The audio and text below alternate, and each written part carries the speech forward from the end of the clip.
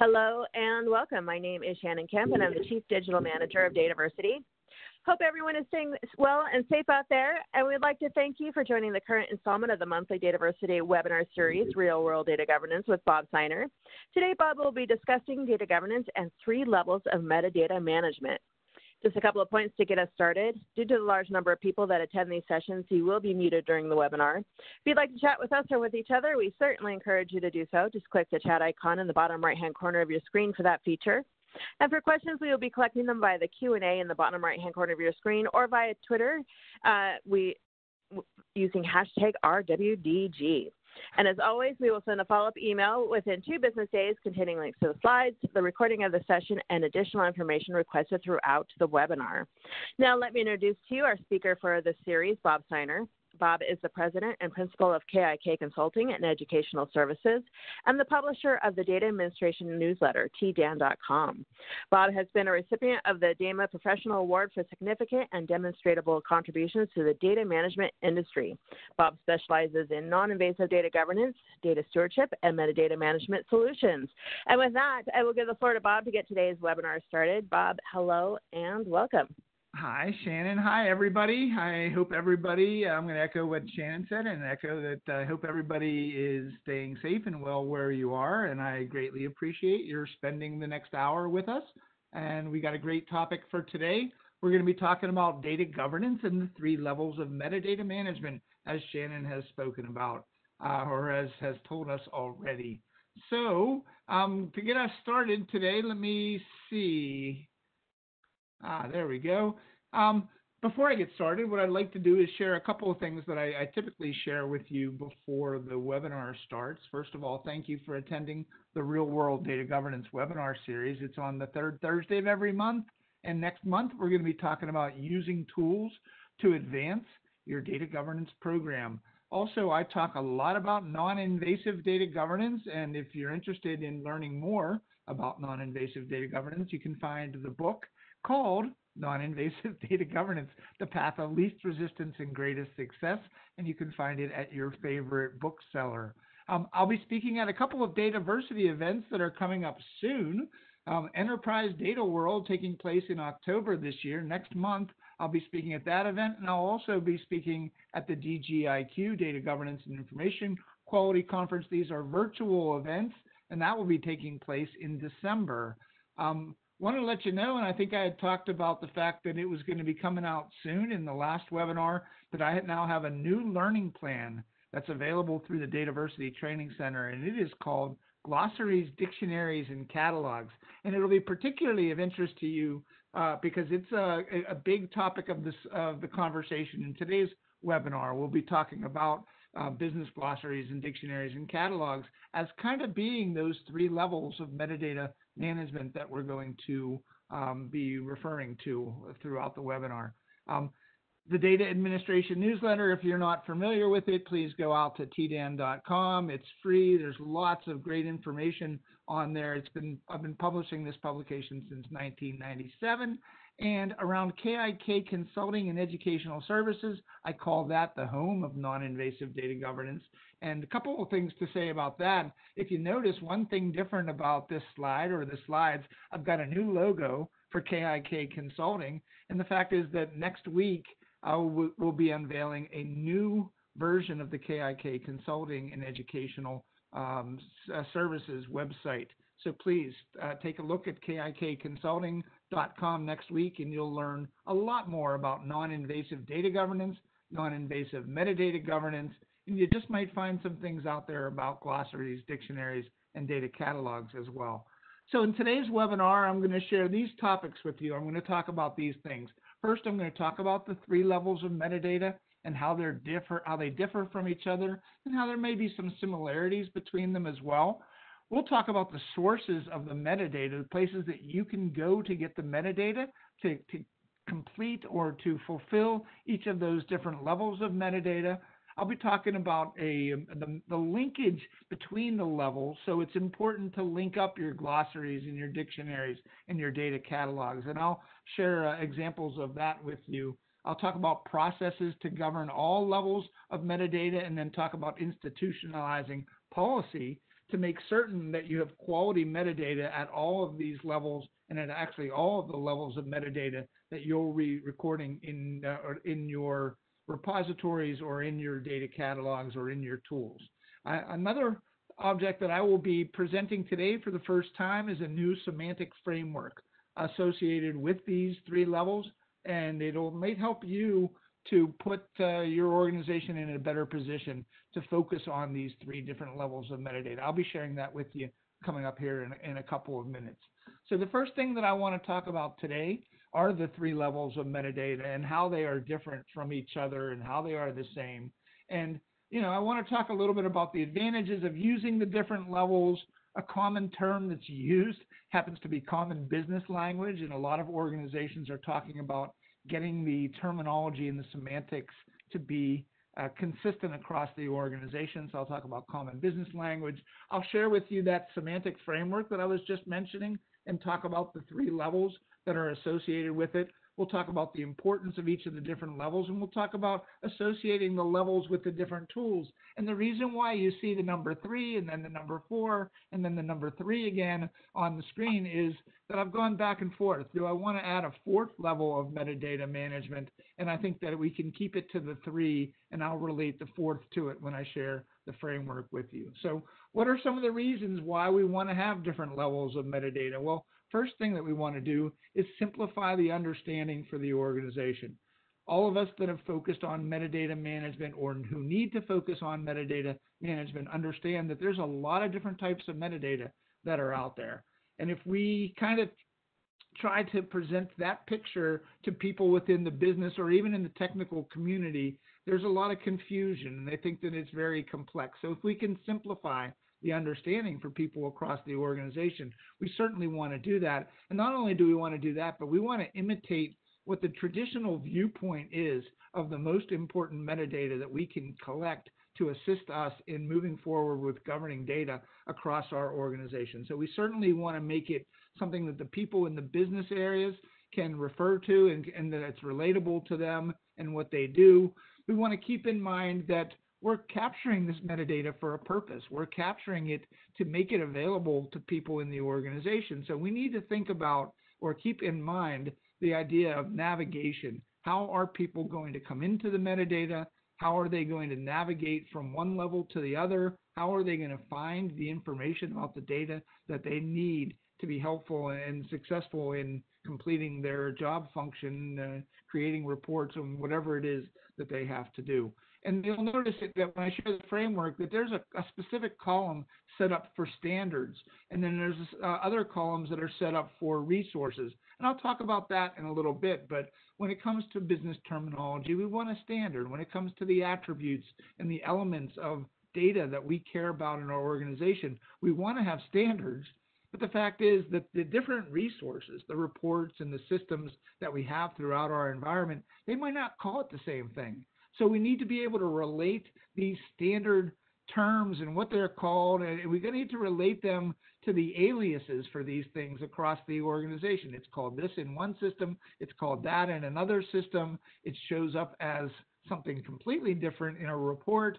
So we want to keep that in mind when we are building out the three levels of metadata.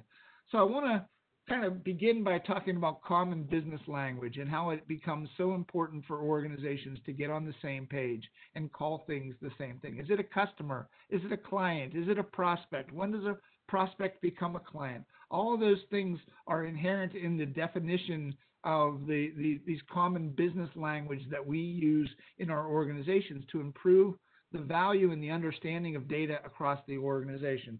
So I'm sharing with you a definition that actually came from a very old page on the Data Administration newsletter, a definition of what common business language is.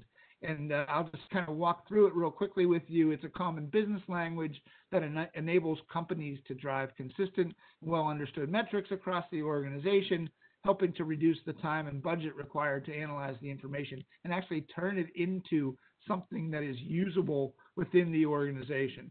So it's really, we can take that definition and break it into pieces. Driving to consistency. I think that's what we mean by the common the word common in common business language is we want people to call things the same thing as much as we can so that when people ask questions, they're getting answers that are similar based on common understanding across the organization. So driving to consistency, that's one of the whole reasons why organizations focus on having a common business language. And it also helps us to understand when we're performing metrics uh, or we're looking to measure the effectiveness of governance or whatever we're measuring within the organization. We want to be talking about the same thing. So, common business language is really inherent in this whole framework. We need to make certain that we have a standard and that we know what it is associated with actually out there in the reality of our databases and systems and on reports. And we want it to be consistent across the organization. The idea is to reduce the time and the budget that's required to perform the analysis on the data.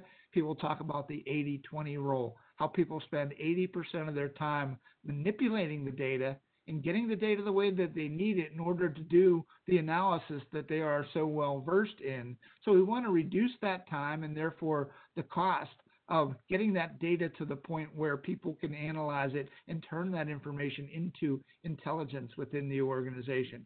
So when I'm going to share with you the, the, the semantic framework and the three levels, well, there's basically the three levels are the business terminology, again, going back to the common business language, the business attribute, which is kind of a breakdown of the different terminology. What information do we have about a customer? What information do we have about a product? Or what groups of information do we have? And then what specific elements of, of information and data do we have that pertain to that attribute group and as it pertains to the term. So you'll see that the linkage between these things and the relationships between the levels will become vital in making this information available, making this information helpful to the people in the organization that we're hoping will get the most value out of it.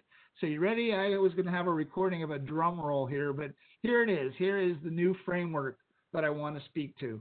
And you'll see it's rather simple in the way that it's set up. You've got the far left column, you've got the, the two columns to the right, and the first column in specific uh, specifically is about the standards.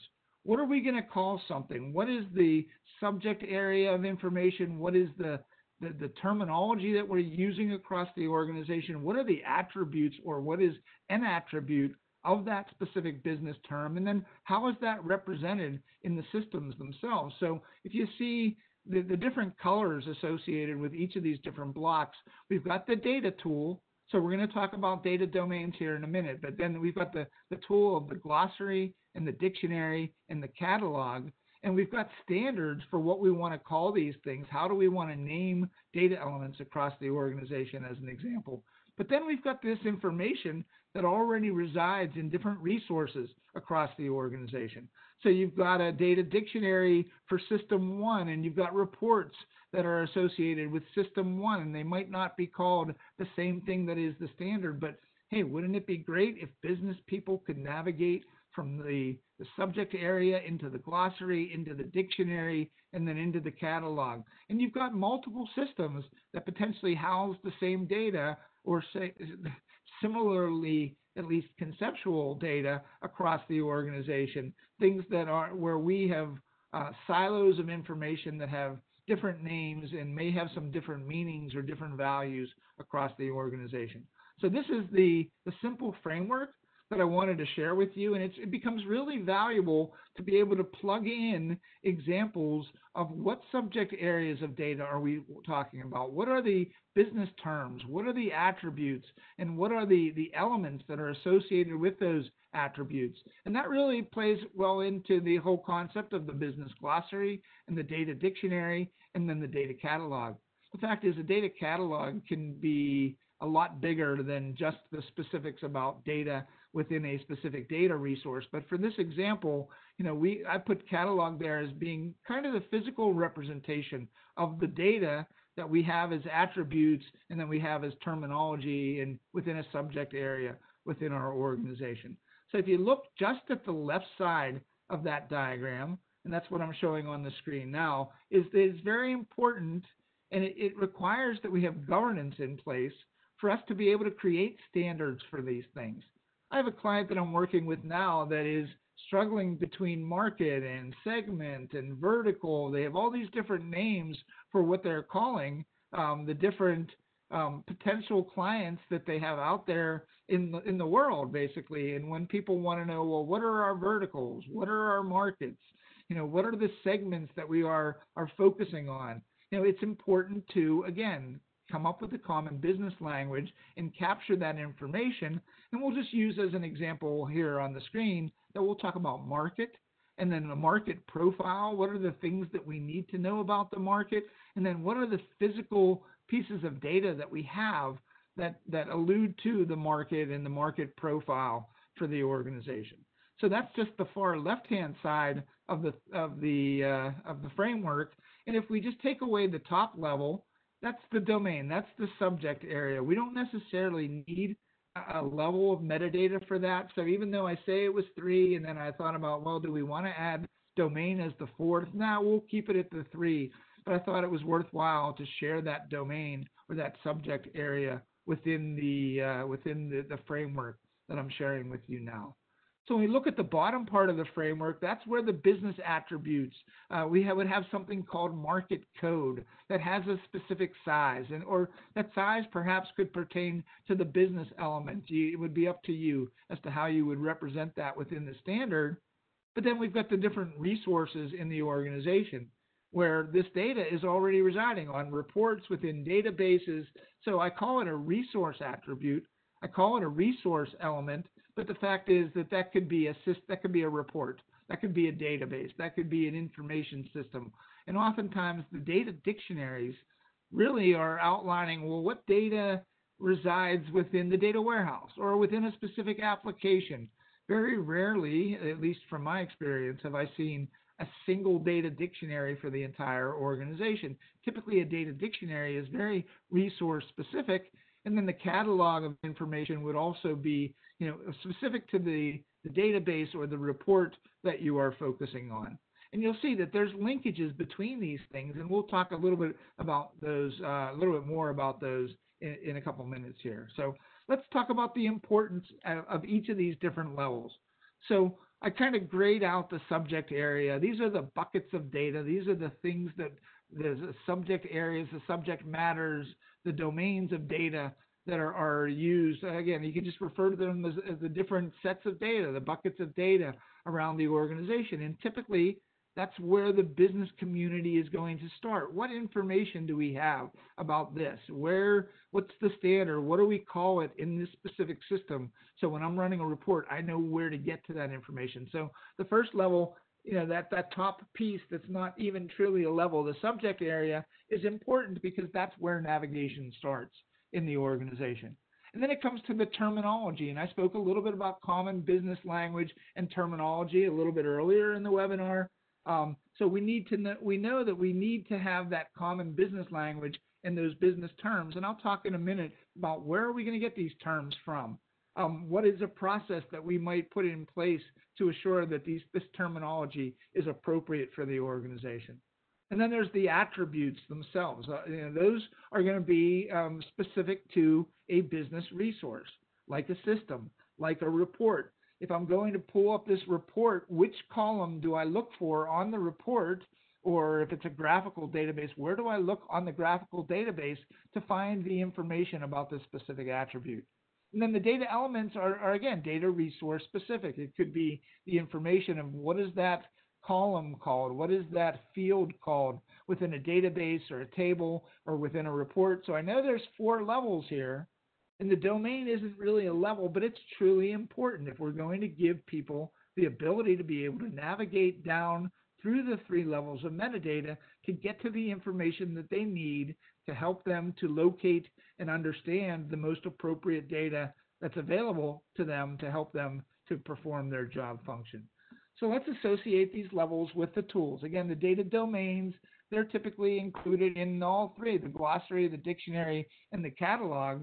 But the, the terminology, at least in the organizations that I've uh, had the, the privilege of working with, uh, that's the business glossary. That's the term, the common business language and the terminology is housed in the business glossary.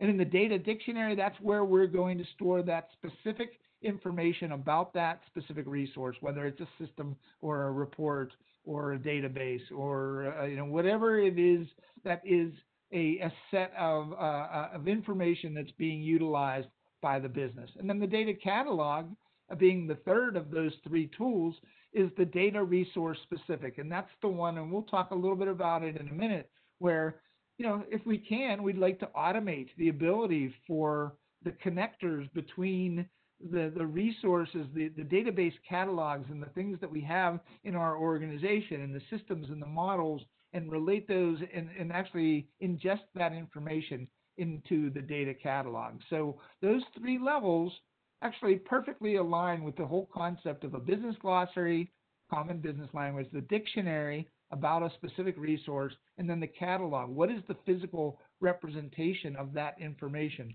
across the organization? So now that I've outlined the three different levels for you, I want to talk a little bit about where can we go to get this information to populate our glossary and our dictionary and our catalog. So the truth is there might already be resources within your organization that you can go to to pull the, the metadata out of these sources and load them into your glossaries, dictionaries, and catalogs, or maybe those don't exist. So I had a recent conversation with a client that was quite interesting where they told me they don't have any metadata. And they happen to be a very big DB2, Oracle, SQL Server shop. And they have a lot of data in these different types of databases. And they don't necessarily, or they didn't recognize that the database catalogs for these tools are metadata. So I had to argue with them, or at least disagree lightly with them, and tell them that, yeah, you do have metadata. The problem is that it's inherent in these tools. And if we want to make this information available to people so they can get the most value out of their data, we need to get that metadata out of those tools, at least the specific metadata that's going to add value for the business community. So don't say that there's no sources. I'm going to share with you a couple different sources for each of these different types of uh, of tools that you might be considering. Again, the glossary, the dictionary, and the catalog. And I'll spend a minute talking about preparing to use these tools. Well, what can we do in the meantime while we're waiting to see or we're trying to get budget to bring in these tools or get the opportunity to leverage some of the tools that we have within our organizations? So, you know, we want to make certain that we're thinking in advance, we're being consistent in how we're capturing this information so that we actually have uh, have it prepared so that when we bring in a tool, that it will be easy to ingest that information into the tool. So, um, so like I said, there could be industry-related terms. The, the, most important thing is that you begin a list. You begin a list of the subject areas within your organization. Begin a list of the term, uh, build a list of the terminology that's important. And I'll talk about where you might get that list from in a second capturing the list in an ingestible format. That's what I was talking about is put it into some type of a format that you're going to be able to bring into your repository or into your catalog or, or dictionary or, or glossary tool. And utilize your existing tools like spreadsheets are a very simple way to be able to capture the metadata in a consistent manner so you can propel your, prepare yourself to be able to load this information into your um, tool, any of the three tools that I just mentioned, or into your database catalog, or whatever it is that you're going to be acquiring or utilizing within your organization to, to help to make this information available to people. So let's talk about some sources of the business glossary. And again, that's the terminology. These are what we are calling things within the organization. It is the common business language. And there's many places that you can go for this information. In fact, I had a, a client recently that built a team of pretty high level people to go out because this was very important to them to build out what are the specific business terms that we use. And where were some of the places that they went to get that terminology? Well, they went to industry standards. One thing that's not shared on the screen is industry models, uh, data models for, that are specific to um, different types of business. They have terminology in them they may not be the terminology that you presently use, but it, it might be a, just a place for you to be able to locate terminology. There's employee reference manuals, customer reference guides. you know, user manuals and handbooks. You can go to your organization's website and see what terminology are we using that we want to share so we can get not only our internal customers, you know, people that we work with within the organization and the data scientists and the analysts to be on the same page, but we also want the business community and we want the client community to be speaking the same language.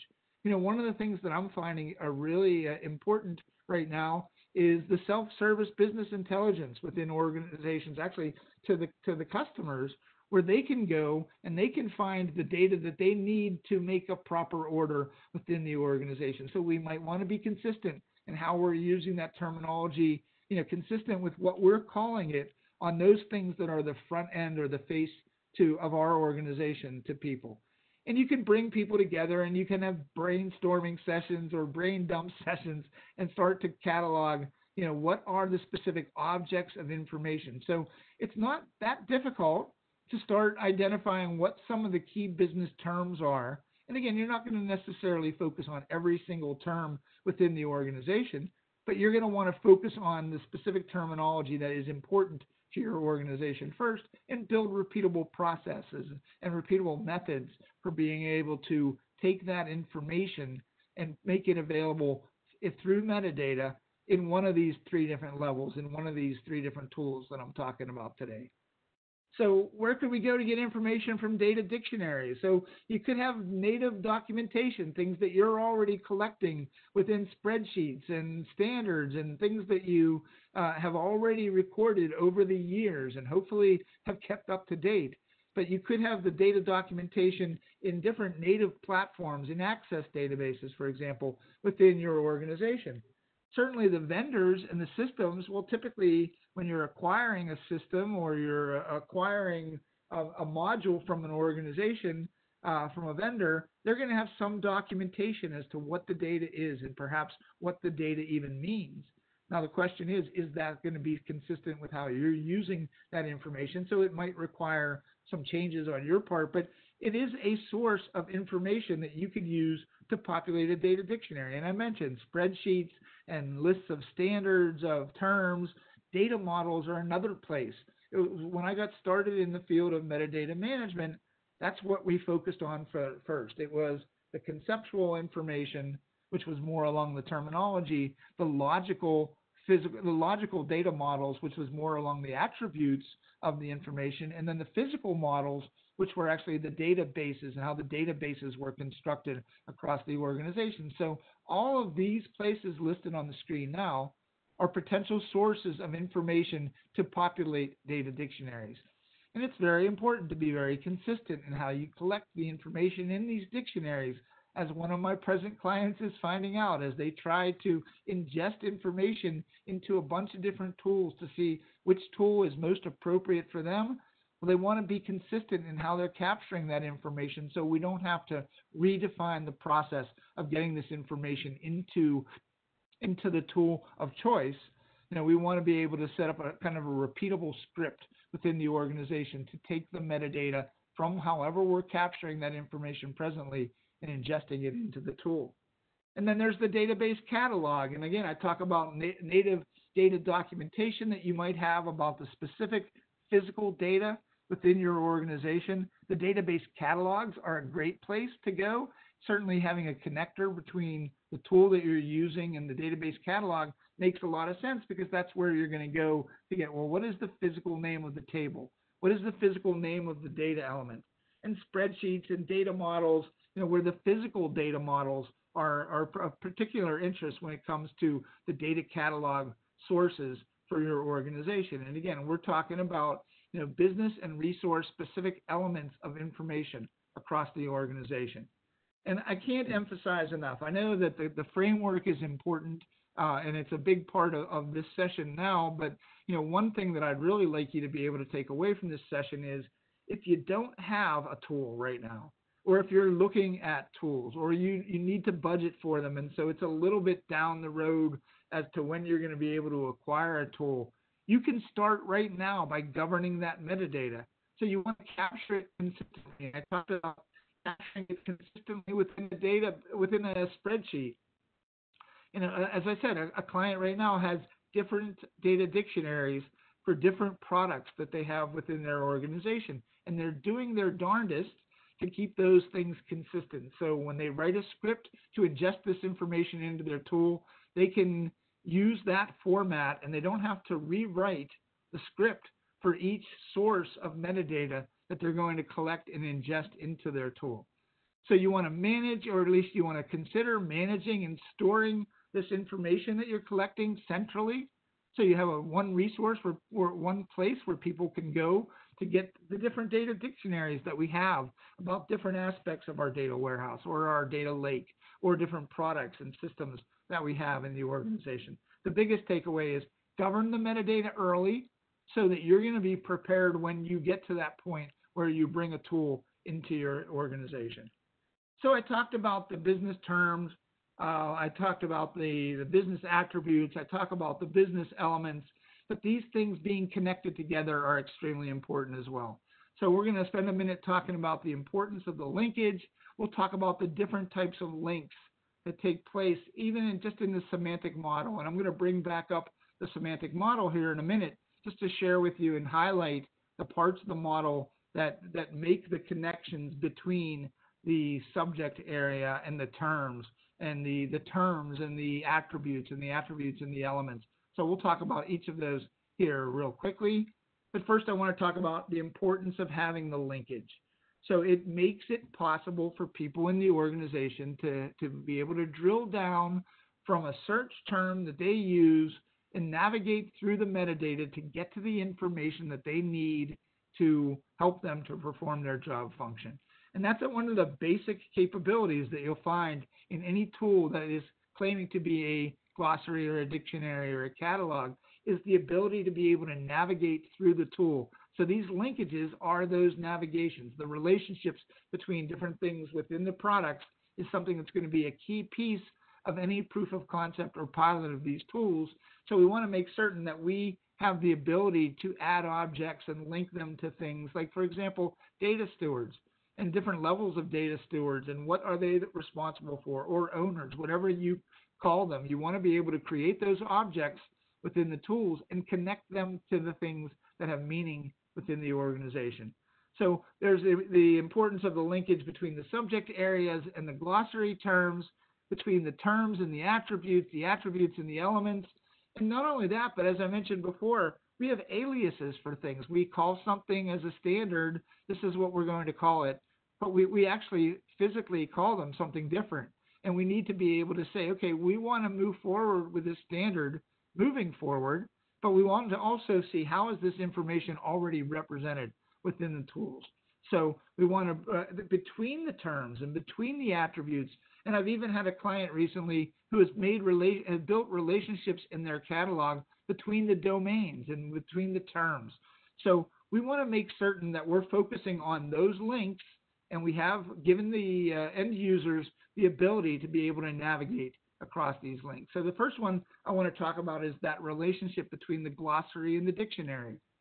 And the most important thing is it enables search. It enables people to find the information. They can drill down from the terms.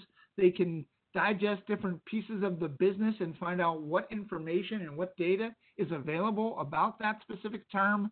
Um, and also you know, if you follow a, framework like the one that I shared with you, you might also have standard names for the terms, and you want to connect those as well to what these things are called within the uh, the different resources that I talked about earlier across the organization.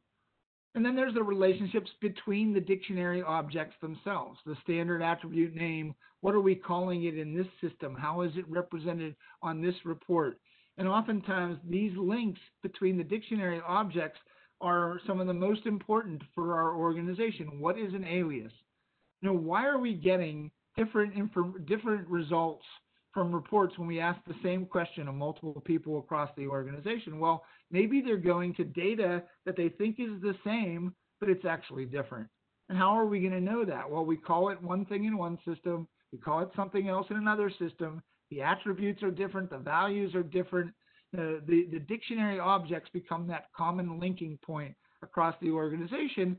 And at the term level, as we have connections between the terms, those are really logical aliases. This is not now down into the data yet. These are the common um, aliases of what do we call things in different places in the organization. So logically, they may be the same or may be close.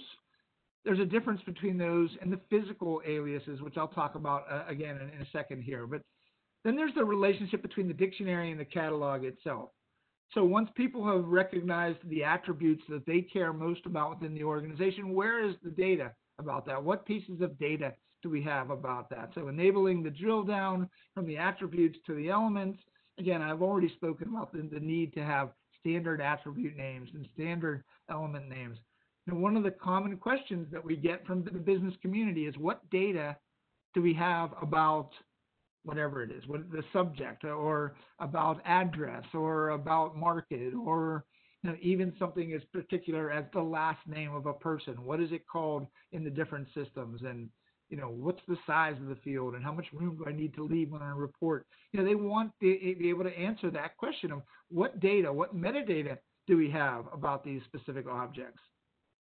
And then there's the relationship between the items at the catalog level the standard element name. What is the that's a standard name that we want to use for that specific piece of data moving forward, or what's the common one that we want to at least link the aliases to? That's the standard element name.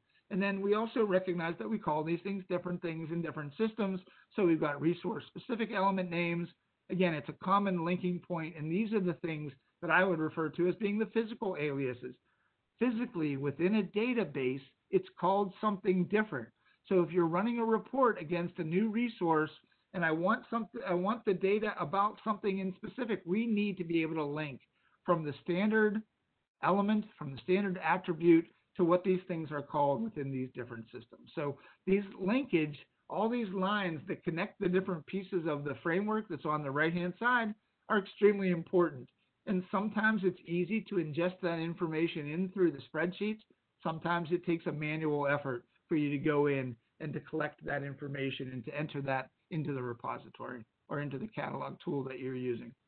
So let's talk about the processes that need to be in place to govern all the different le levels of metadata, specifically the three that we're talking about here. And the first thing I'm going to talk about is the pro is just regular processes versus governed processes you know, oftentimes a process itself is a form of governance, but only if it becomes formal and we're associating and engaging the the, the, the, the similar role at the similar time. So a process itself is metadata if you're keeping track of what steps we're following. So we'll talk about processes versus just regular processes versus governed processes and what does it mean to govern a process. We'll talk about some processes that are specific to the business glossary the data dictionary and the data catalog. And then I'll spend a second talking about building your metadata toolkit. What things can you build that are repeatable so you don't have to reinvent the wheel every time you go down this path and start collecting information to ingest into these tools. So the first we'll talk about processes versus governed processes. And we need to do that for, for both data processes and metadata processes because and I say all the time that the data won't govern itself, the metadata won't govern itself, we need to have people involved in it and they need to know what to do in order to capture the information about the data in the organization. There's metadata processes that are focused on that data documentation to make certain that that data documentation is collected and that it is shareable across the organization. Then there's steps that, you know, do we want to redefine the steps each time that we're collecting metadata or do we want to collect in our toolkit a series of repeatable steps? And then there's informal accountability. Oh, these people know that they need to be involved at this point versus formal accountability. And that's probably one of the biggest uh, biggest items when it comes to just normal processes versus uh, governed processes is going from the informal level of accountability to a formal level of accountability. And organizations have process silos versus building consistent processes across the organization. Again, we have a method for doing something. We want to collect that information and store it somewhere within one of these tools to make certain people understand there is a process for this that's been validated, that's been vetted out, that's been certified, that we've used repeatedly. So we want to, rather than just continuing to redefine processes every time they need to be created, there's a consistent process that we can put in our toolkit and call out, hey, we did this for somebody else in the organization. We can do this for you. So having a repository of those consistent processes is extremely important. And when it comes to a, you know, a federated model of implementing governance, we want to make certain that you know we understand that there's a lot of autonomy around the organization for people doing things the way that they've always done them and not necessarily gravitating towards a standard way of doing something. So oftentimes in a federated approach, we're going to define minimal standards and guidelines and things that we want to share with people across the organization and leave it up to them as to how they go out and accomplish those things. But at least as long as they follow the minimal guidelines, for example, for collecting the metadata that we're going to ingest into the tool or into any of these tools, you know, that might be the federated approach is that you provide them a template and say, put your metadata in this format. We don't care how you get it into that format, but at the end of the day, we need it in that format in order for us to be able to ingest that information into the product. So let's talk about some of the processes associated with the business glossary. And you'll notice that the processes associated with the business glossary are very similar to the, the processes associated with the data dictionary. Number one, you might have a process to review, validate, and certify terms. I spoke a, a minute or a few minutes ago about a, a, client that had built a team of people to go out and biz, build their business terminology. Well, they also uh, they figured that they were going to do it for customer and provider. It was a health insurance information, uh, uh health insurance company, but they wanted to be able to repeat this for different areas of the organization, different terminology. So they build processes to review, and to validate and to certify the terms, they build processes for people to add new business terms. It wasn't just made available for anybody at any time. They wanted to govern the information that was within their glossary.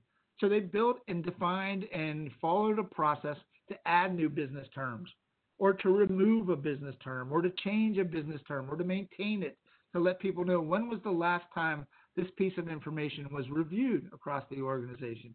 And if you'll notice in the dictionary processes, it's very similar, or should I say it's the same as the glossary processes I just talked about, but we're focusing on the elements and we're focusing on the attributes within the organization and not necessarily the terminology. So if somebody, there should be a process, and I think most of you would agree that if you're going to go change something in a database, it's going to have an impact on reports, on other databases, we need to make certain that we put a, a, a, repeatable process in place to make certain that we can maintain these things and that there's a process for requesting change to specific data within a database. So in uh, different organizations, they put processes in place in order to add new pieces of data or to remove pieces of data. All of a sudden, the data is not there and somebody doesn't have access to information they've utilized we want to know who's going to be impacted by that. So the importance of creating these processes um, really come bubbles to the top. You know, we need to know that we can do these things again and again and again. But when it comes to the data catalog, that's where we're hearing a lot in the industry about automated capabilities. How can these tools kind of use their connectors and their spiders to go out into these different products and collect the metadata that's important to them? And we don't want to have to physically enter that information into the catalog. I don't know of too many companies that will do that, but we want to automate that capability of pulling that information into the tool versus the manual load and the manual update or, or semi-automate. You know, when you're looking at these types of tools, you're going to want to look at the automation. That's an important piece of ingesting information into the tool. And if you're not, this is not information we're housing in spreadsheets. This is information that's inherent within the meta models that represent the metadata and the data that's collected within these tools. So think about automating wherever you can the, uh, the ingestion of the data catalog information into the tool, and you may have a specific process for that. And you might set up change management so that when there's changes to databases and there's changes to reports, that we, we hear about that and we know to update the metadata accordingly so that we're not providing the wrong information to people across the organization. And as we do, as we build these repeatable processes, they become part of your metadata toolkit. So the other things that are parts of your metadata toolkit is having a repeatable place for people to collect the metadata. Again, for example, you know, having a similar spreadsheet that or the parts of the organization use to document the data within a specific data resource, repeatable processes for defining what metadata we're collecting, uh, producing that metadata and using that metadata, you know, uh, defined accountability. Who is responsible for deciding what metadata we're going to use across the organization? Who's going to be responsible for producing that metadata? Do we build it into their job function? How can we assure that when we add, for example, new data to our data lake, that it's not just out there and only a few people know about it, especially if we've gone through the process of making certain that that, met, that data in that tool is important, is, is valuable. So defining the accountability is part of the toolkit, including who does what and when they do it. That's really the way. That's the formal process versus the informal process. Um, repeatable metadata ingestion processes, being able to create um, one script to, to grab this information and pull it into the repository. So I mentioned change management and validation. I mean, those are extremely important. Once you've loaded a data dictionary into your repository, into your catalog, it's a snapshot of a point in time. And we want to make certain that we're thinking about, well, if that changes, how are we going to reflect that change within the tool? So metadata change management is critical I learned the hard way when I was a repository administrator many, many years ago, where we loaded information into the repository seven days a week, 24 hours a day, but we hadn't built the change management. So let this be kind of a, a warning to you, or that that you want to make certain that you, when you put these tools out there and you make them available to people, that you um, that you're you're putting those change management and process processes in place before you share this information. So when we talk about the different processes, again, going back to the framework that I shared with you earlier, you know, all of these blocks uh, on the screen within the framework are, are, have processes for defining, producing, and using this metadata. And we need to document what those processes are and be consistent. That is what is really termed as metadata governance, is making certain that we have people um, that are responsible for defining, producing, and using the metadata that's going to be utilized by the organization. But I'll take it one step further and I'll say that every one of these links, the link between the subject area and the term, the link between the term and the attribute, and between attributes that are in different parts of the organization, there needs to be a process in place to define what relationships are important, to produce those relationships, and to, to help people to understand how they can use that information across the organization. So the last subject I'm going to go through this kind of quickly is institutionalizing policy to ensure that you have quality metadata at all levels. So the first thing is, you know, when is a policy necessary, recognizing when it's when it's necessary.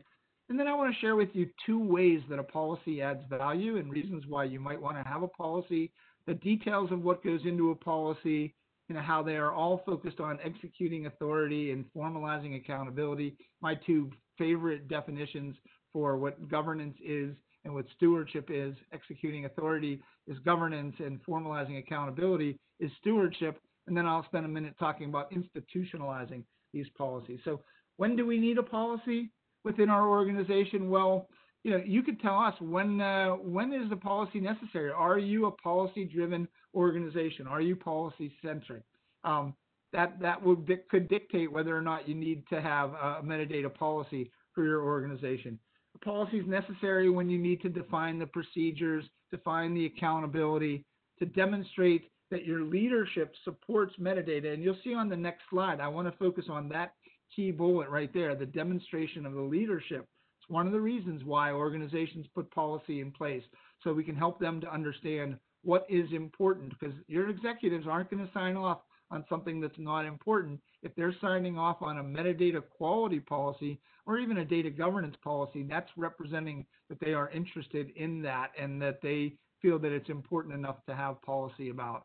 And then a policy is necessarily when you want to formalize the execution and enforcement of authority for anything across your organization, and metadata would be one of those things. So this slide, and I don't think I've ever presented this this way before, is there's really two ways that a, a policy adds value for your organization. The first one is the one that everybody thinks about, articulating the process and the guidelines and the accountability for doing specific things across the organization. That's the one that you know a lot of the sample policies that I've sent I've seen articulate the process, the guidelines, and the accountability. But the most important, perhaps, is the demonstration of your leadership as to the, that they're behind this. A data governance policy, if there's going to be a policy around data governance or data management, and that you expect it to be signed off at at the highest level of the organization, they're not going to sign off on it unless they feel confident that this is important enough for your organization to have policy about.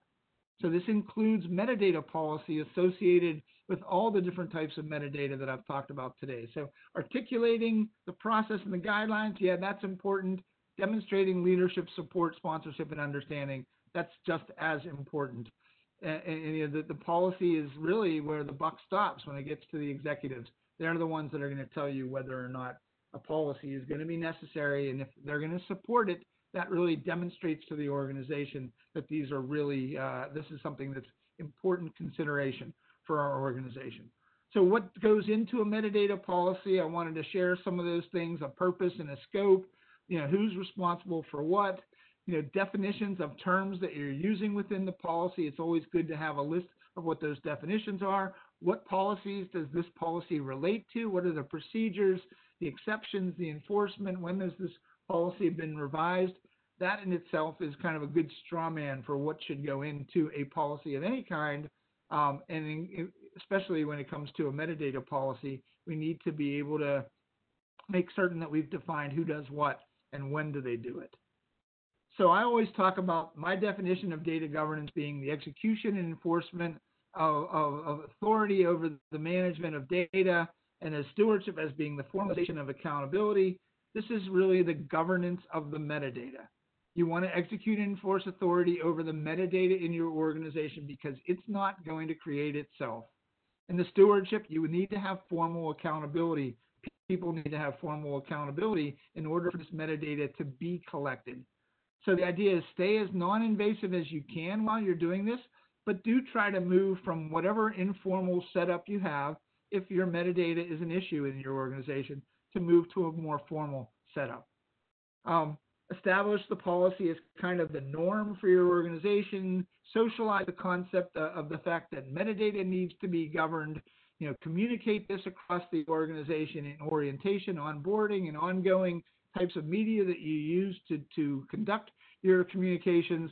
Formalize your stewardship for, for the metadata and for the data and measure and evaluate and enhance this information over time. So in this webinar, I know it went kind of quickly, at least it felt that way for me. I shared the three levels of metadata and how they differ, the sources of metadata at each of the levels, the importance of the linkage between the levels in this semantic model, the processes that you should be considering in order to govern all levels of the metadata, and then thinking about using a policy again to demonstrate executive support, articulate executive support for the need to govern this information because, again, it's not going to govern itself. So, with that, I'm going to turn it back to Shannon to see if we had any questions today. Bob, thank you so much for another fantastic presentation as always. And uh, just to answer the most commonly asked questions, just a reminder, I will send a follow-up email to all registrants for this webinar by end of day Monday with links to the slides and links to the recording as well as anything else requested. Um, you know, we had a lot of great questions coming in. Um, to dive in here, um, how can metadata help in digital transformation of higher education? That's kind of specific. The digital transformation of higher education. Well, I know from experience of working with organizations in higher ed that they haven't really traditionally done a great job of of collecting information, of of collecting the metadata. Um, that doesn't seem to be the business that they're in, but more and more these days, the higher ed organizations are seeing that that data is an important asset, the information that they have about the data, the analytics that in order to improve analytics, that they become important. So uh, I think it, it, becomes inherent in them uh, when they're recognizing that data is important to higher education, just like it's important to any industry, that we need to put formality in place around the metadata associated with higher ed data. Or whatever type of data your organization has. So um, that is the, the movement of the future in higher ed as higher ed becomes more and more competitive. What we know about our students, what we know about our faculty, um, what we do analytics, and where our students are coming from. You know, we want to be able to do analytics on that specific data. So it just increases the importance of having this type of information for people across the organization.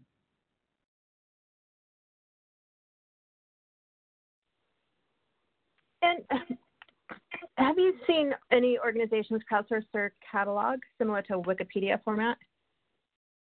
Um, there are some tools that, that have kind of that focus to it. Um, not specifically that, that are link are, are like Wikipedia. In Wikipedia, you can jump between subjects, you can jump all over the organization, but that takes a lot of work. I mean, it doesn't.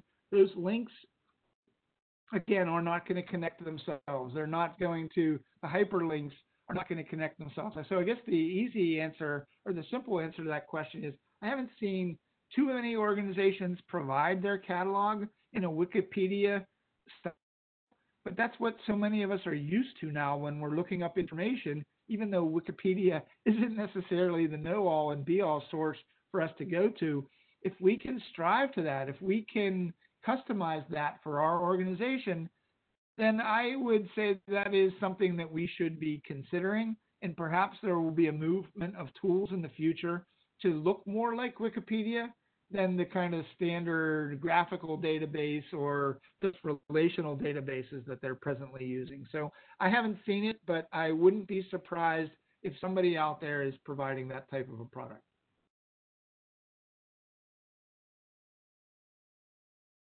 And Bob, what are the challenges and opportunities of using different level of metadata, and what are the advantages of using all levels in business organizations?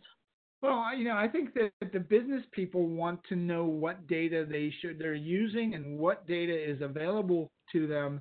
And so the biggest advantage of doing it in the levels is that you, they're more like bite-sized pieces of of creating this for the entire organization. You may start with your business terminology. You may already have data dictionaries for specific applications. So you know, the business value that comes from this is it makes information about the data available to people that are going to utilize it to perform their job function, as I mentioned earlier.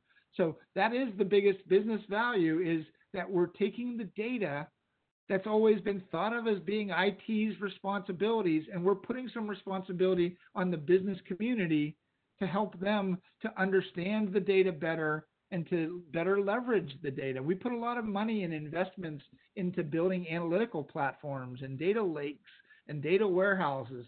And the real return on investment from these investments comes from people using the data. And one of the biggest complaints that I've heard, and maybe all of you have heard, is that you know that people don't know what data is out there. And so if you're looking for business value, it is connecting the business to the data through the information that we have available about the data. And the, the glossary, the dictionary, the catalog are the wave of the future. Uh, they've actually been around for a while, but it seems to be some of the most uh, important buzz words and, and most important topics being discussed in, uh, in sessions like this and, and at the university in general. And I think we have time to slip in one or two more questions here. And keep the questions coming. I will send them over to Bob uh, after the webinar for him to write up the answers, which will be included in the follow-up email. So, uh, Bob, um, early on you talked about market code is written as, and it's written as business attribute and element. What's the difference? Well, you know, and, and that's really that's specific to the organization. So um, market code was listed as being a, a, a, business term. What do we mean by uh, the market uh, market code? And maybe even that code is made up of multiple pieces of information. There's the code itself. There's the description of the code. It's who entered the code. It's who updated the code. When was the last day that this was updated? What was the source of the information from the code? So market code might be more of a general term. And when we get down into the business elements, those are the specific pieces of information that we have about the market uh, about the market code. I'm glad you asked that question because that is one of the first questions I typically get from sharing that framework is you have them listed as being the same thing, um, but one can be considered a term. You could have a different name for it or use the same name, um, but, but that was a good call out. And, and typically there is multiple pieces of information available about any specific term.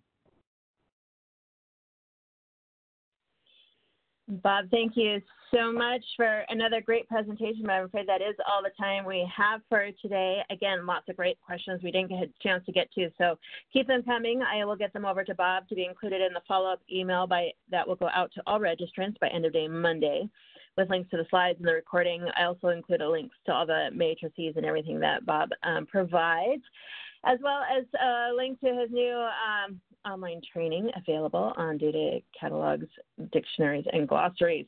So thanks, thanks everybody for the great participation. As always, thanks Bob, and I hope everybody stays safe out there. Thanks all.